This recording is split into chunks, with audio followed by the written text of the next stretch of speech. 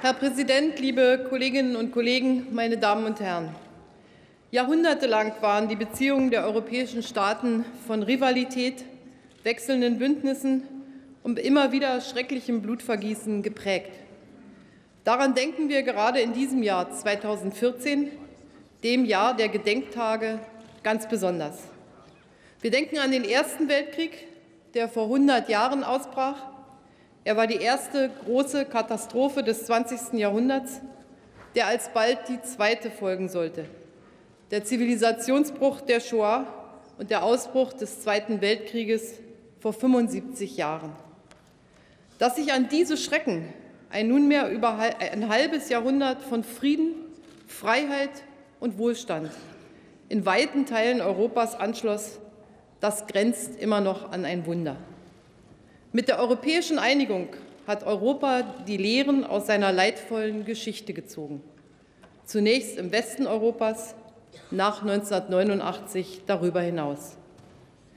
Wir erinnern uns in diesem Jahr auch an den Fall der Berliner Mauer vor 25 Jahren und an den Beginn der EU-Osterweiterung vor zehn Jahren. Die europäische Einigung ist und bleibt, gerade auch im 21. Jahrhundert, das große Versprechen auf Frieden, auf Freiheit und auf Wohlstand.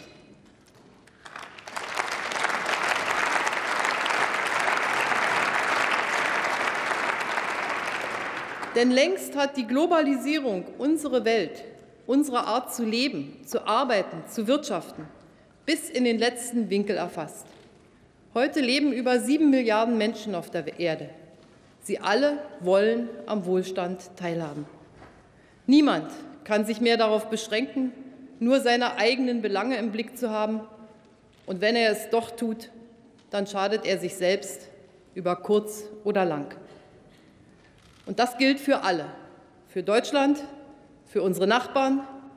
Das gilt selbst auch für ein so großes und starkes Land wie die Vereinigten Staaten von Amerika, ebenso wie für China und Russland. Wir sind alle, und zwar stärker und stärker, miteinander verflochten. Und eben auch Russland. Ausdruck dessen sind zum Beispiel jährliche deutsch-russische Regierungskonsultationen, der Petersburger Dialog, das deutsch-russische Rohstoffforum, mehr als 20 bilaterale Abkommen Russlands mit der Europäischen Union, der Ostseerat, unsere Zusammenarbeit Russlands mit Russland in den G8 und G20, der NATO-Russland-Rat, Verhandlungsmandate im Nahostfriedensprozess und bei den Nukleargesprächen mit dem Iran und vieles, vieles mehr. Das alles ist gelebte Globalisierung im 21. Jahrhundert. Sie ist Ausdruck der Erkenntnis, dass wir alle in Europa und darüber hinaus uns den großen Aufgaben gemeinsam stellen müssen. Sie ist Ausdruck dessen, dass jeder von uns allein weniger erreicht als gemeinsam. Das, liebe Kolleginnen und Kollegen, ist das Umfeld, in dem wir schon 2008 in Georgien und jetzt mitten in Europa um die Ukraine einen Konflikt erleben ein Konflikt um Einflusssphären und um Territorialansprüche, wie wir ihn eigentlich aus dem 19. und 20. Jahrhundert kennen, ein Konflikt, den wir für überwunden gehalten haben.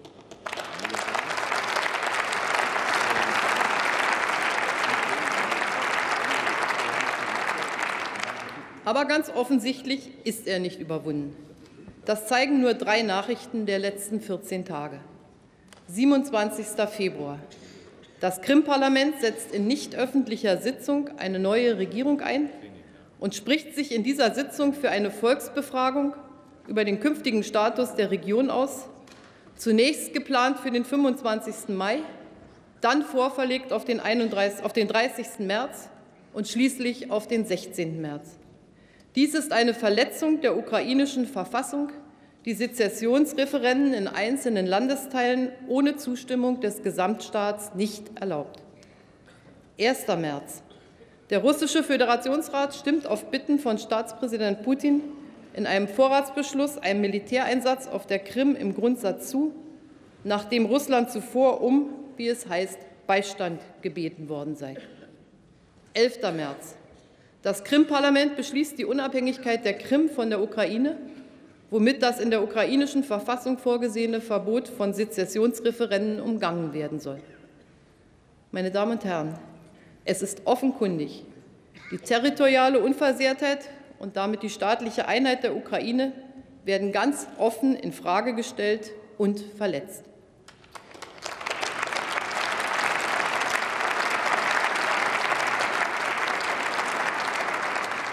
In einer Phase großer Unsicherheit in der Ukraine hat sich Russland nicht als Partner für Stabilität in dem mit ihm historisch, kulturell und wirtschaftlich eng verbundenen Nachbarland erwiesen, sondern nutzt dessen gegebene Schwäche aus. Das Recht des Stärkeren wird gegen die Stärke des Rechts gestellt, einseitige geopolitische Interessen über Verständigung und Kooperation.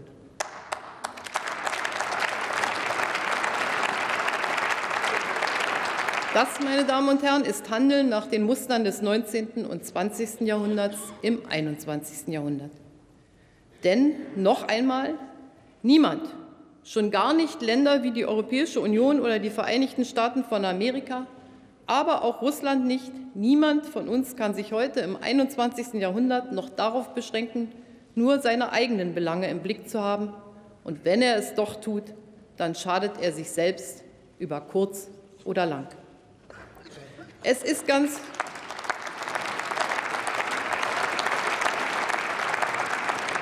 Es ist ganz ohne Zweifel beklemmend, was wir derzeit mitten in Europa erleben. Ich fürchte, wir werden auch einen langen Atem brauchen, um den Konflikt zu lösen. Aber wir können diese für Europa zentrale Herausforderung entschlossen annehmen. Es geht um die territoriale Unversehrtheit eines europäischen Nachbarlandes, um den Respekt vor den Prinzipien der Vereinten Nationen, um Prinzipien und Methoden des Interessenausgleichs im 21. Jahrhundert. Weil in diesen Tagen von dem einen oder anderen der Vergleich mit dem Kosovo-Konflikt gezogen wird, vielleicht auch gleich wieder in dieser Debatte, erlaube ich mir dazu eine kurze Nebenbemerkung. Nachdem damals die Staatengemeinschaft den sogenannten ethnischen Säuberungskriegen von Milosevic auf dem Gebiet des ehemaligen Jugoslawien jahrelang mehr oder weniger ohnmächtig zugesehen hatte. Nachdem Sanktionen und Verhandlungen keinerlei Wirkung gezeigt hatten, entschloss sich die NATO, ohne UN-Mandat militärisch einzugreifen, auch weil Russland jeden Beschluss des UN-Sicherheitsrats für ein UN-Mandat blockiert hatte. Um es klipp und klar zu sagen, die Situation damals ist in keiner Weise mit der in der Ukraine heute vergleichbar.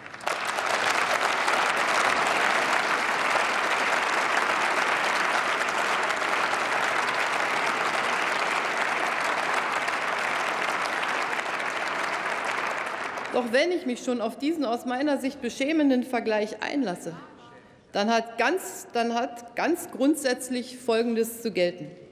Das Vorgehen Russlands in der Ukraine ist ein eindeutiger Bruch grundlegender völkerrechtlicher Prinzipien. Er würde nicht dadurch relativiert, wenn es auch andere Völkerrechtsverletzungen gegeben hätte.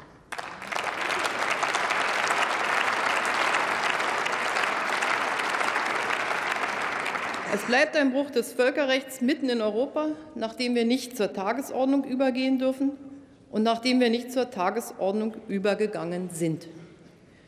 In dieser spannungsgeladenen und gefährlichen Situation gilt es, Wege aus der Krise zu finden.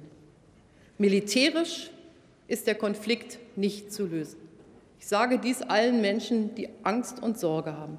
Militärisches Vorgehen ist keine Option für uns.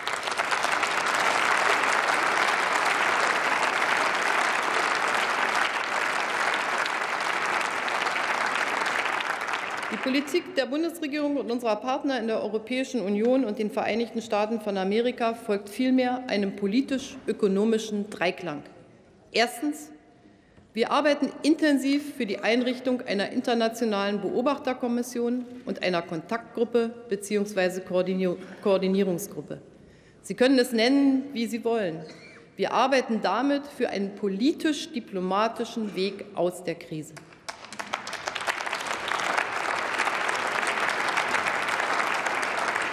Ziel der Beobachtermission wäre es, Behauptungen zu überprüfen und ein objektives Bild der Lage überall in der Ukraine zu erreichen.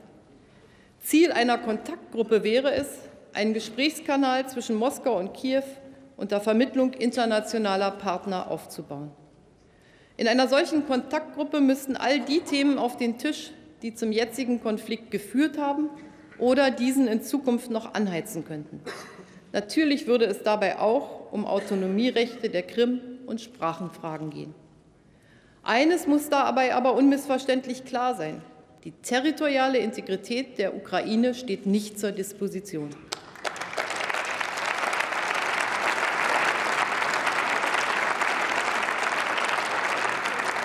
Und in diesem Zusammenhang sei ausdrücklich erwähnt, auch andere Staaten wie der Republik Moldau oder Georgien gebührt in dieser Situation unsere Solidarität.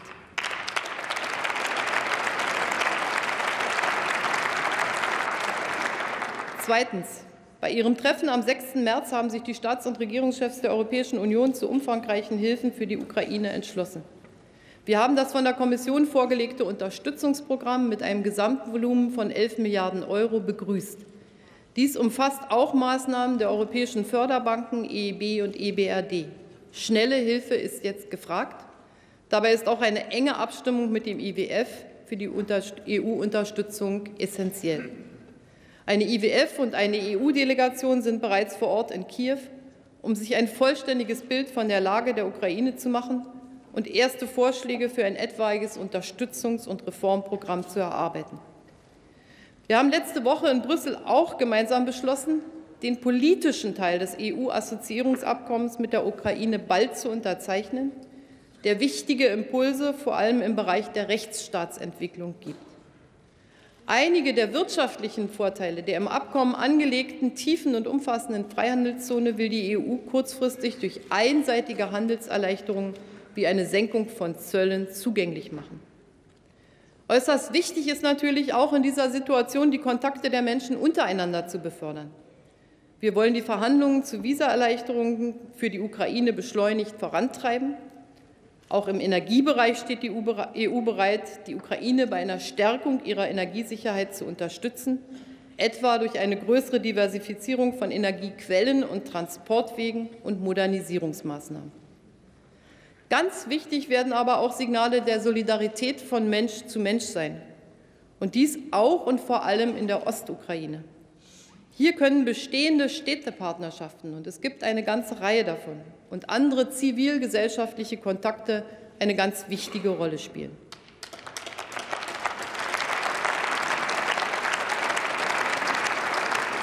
Ich möchte die deutschen Städte aber auch Schulen, Universitäten oder Vereine mit Partnern in der Ukraine dazu ermuntern, in dieser besonderen Zeit den Kontakt noch zu vertiefen und zu schauen, ob praktische Hilfeleistungen möglich sind. Wir unterstützen die Übergangsregierung in Kiew darin, eine Regierung für alle Ukrainer zu sein. Es geht darum, Gräben zu überwinden, erste Schritte zur wirtschaftlichen Stabilisierung zu gehen und freie und faire Wahlen im Mai zu ermöglichen.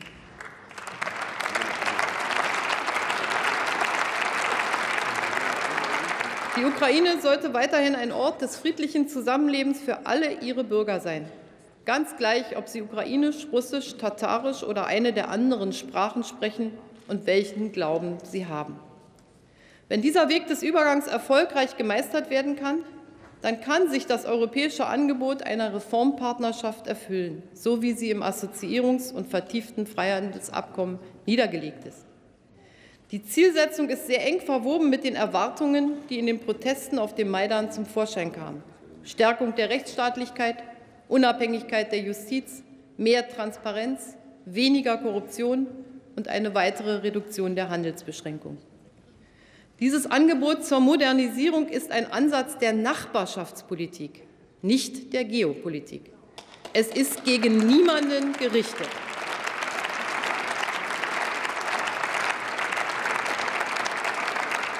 Wiederhole in diesem Zusammenhang das, was ich in meiner Regierungserklärung zum EU-Gipfel zur östlichen Partnerschaft am 18. November des letzten Jahres hier im Deutschen Bundestag gesagt habe. Weder die östliche Partnerschaft noch die bilateralen vertraglichen Beziehungen, die die EU mit ihren Partnern abschließen will, richten sich gegen Russland. Wir müssen, so habe ich damals gesagt, weiter daran arbeiten, dass es kein Entweder-Oder, zwischen einer Annäherung der Länder der östlichen Partnerschaft an die EU und dem russischen Bemühen um eine engere Partnerschaft mit diesen Ländern geben sollte.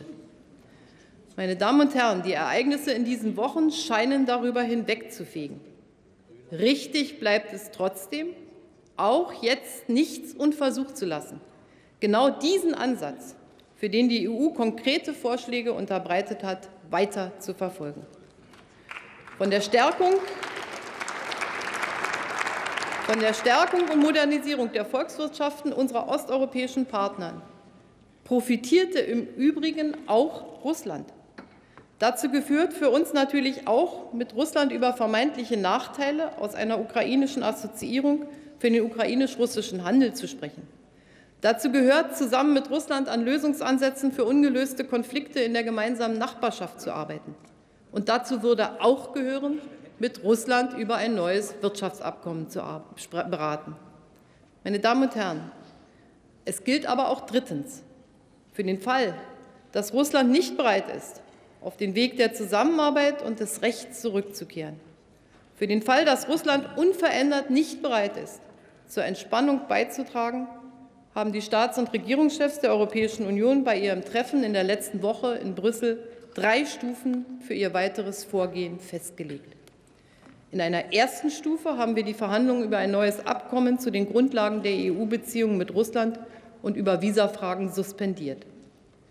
Wenn es in den allernächsten Tagen nicht zu Verhandlungen mit Russland kommt, und zwar zu Verhandlungen, die auch Resultate hervorbringen und nicht nur auf Zeit spielen, dann werden die Außenminister der EU-Mitgliedstaaten in ihrem Rat am kommenden Montag, dem 17. März, als zweite Stufe weitere Maßnahmen beschließen.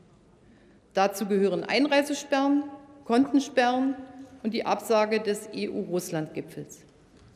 Liebe Kolleginnen und Kollegen, ich denke, es ist in Ihrer aller Namen, wenn ich an dieser Stelle die Gelegenheit nutze, unserem Außenminister Frank-Walter Steinmeier zu danken.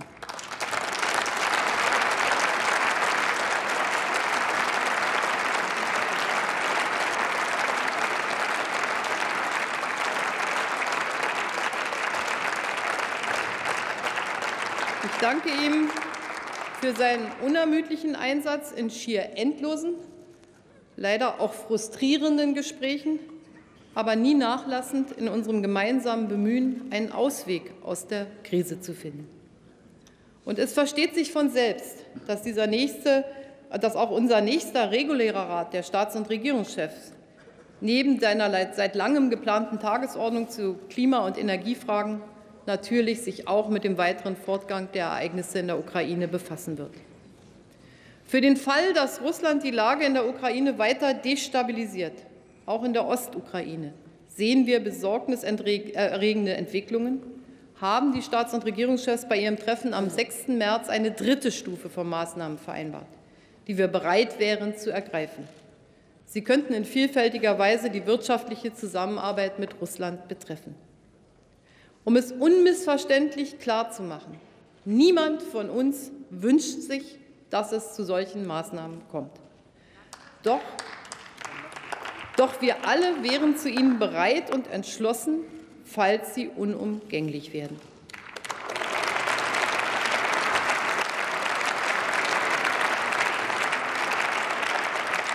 Wir alle, das sind die 28 Mitgliedstaaten der Europäischen Union, in engster Abstimmung mit unseren transatlantischen Partnern und innerhalb der G7.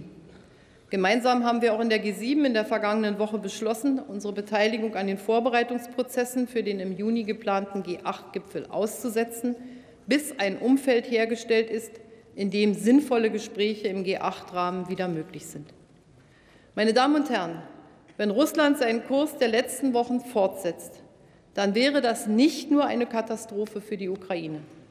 Dann empfänden wir das nicht nur auch als Nachbarstaaten Russlands als eine Bedrohung. Dann veränderte das nicht nur das Verhältnis der Europäischen Union als Ganzes zu Russland. Nein, dann schadete das nicht zuletzt, davon bin ich ganz überzeugt, massiv auch Russland. Und zwar ökonomisch wie politisch. Denn ich kann es gar nicht oft genug und nachdrücklich genug sagen. Die Uhr lässt sich nicht zurückdrehen.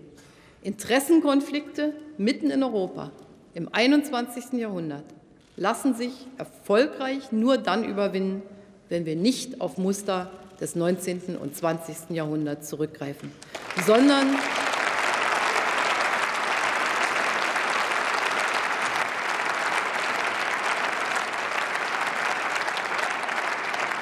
Sie lassen sich nur dann überwinden, wenn wir mit den Prinzipien und Mitteln unserer Zeit des 21. Jahrhunderts agieren. Auch geopolitische Stärke entwickeln. Das geht erfolgreich nur mit den Prinzipien und Mitteln unserer Zeit.